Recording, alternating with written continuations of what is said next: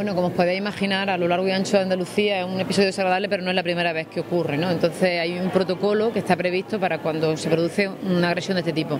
Estamos trabajando muchísimo, ¿no? Sobre todo con la concienciación por parte de los pacientes, que no se puede dar un trato así a un profesional que te va a atender, que da lo mejor de sí para, para tratarte, para atenderte, ¿no?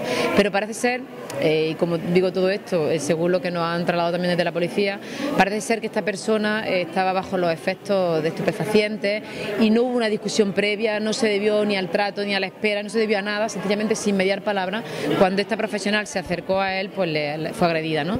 Nosotros activamos el protocolo que tenemos para estos casos, para darle a ella atención en primer lugar si la necesita médica, que parece que no fue el caso, pero también, como no, jurídica y psicológica, porque esto no puede quedar así, ¿no? Una agresión de este tipo no puede quedar impune. El protocolo está en marcha y esta profesional pues ha sido atendida conforme a como está establecido por parte del Servicio Andaluz de Salud.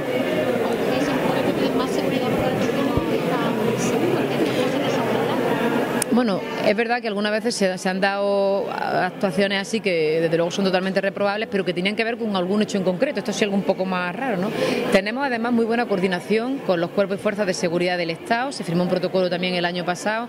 Nosotros tenemos el nuestro propio, pero además tenemos esa coordinación, un responsable de la seguridad de todos los hospitales en cada provincia y lógicamente, pues lo principal que se hace es actuar concienciando a la población, ¿no? El último responsable seguro, incluso aunque alguien tenga alguna queja, ¿no? Del Servicio Andaluz de Salud, desde luego quien no es responsable es la persona que le está atendiendo allí. ¿no?